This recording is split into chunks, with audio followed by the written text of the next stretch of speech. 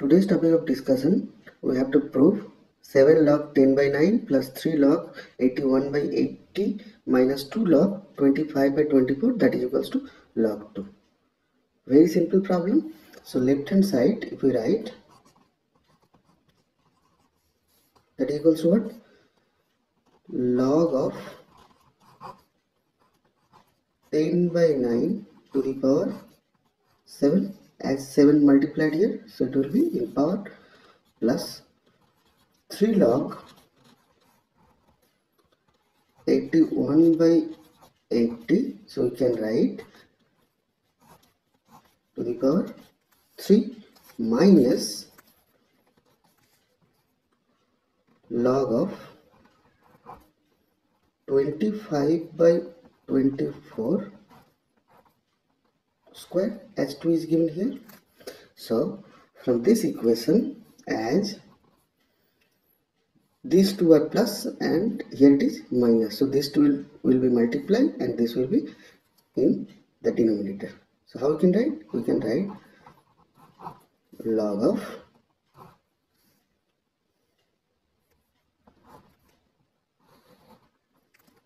at the numerator it, it is 10 by 9 to the power 7 multiplied by 81 by 80 cube 25 by 24 square. Okay.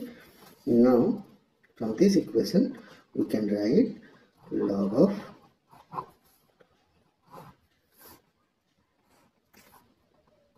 put all the values at the numerator it will be? 10 10 10 10 10 10 into 10 7 times 10 we have to write 1 2 3 4 5 6 7 then 81 3 times. 81 81 81 okay now at the denominator it is 25 two times. And that is 24 so 24 will be at the numerator. So into 24 into 24 okay? And at the denominator it will be 9 9 9 7 times 9 3 4 5 6 7 and here it is 80 three times. We have to write it. 80 80 80 and look here 25 two times 25 we have to write.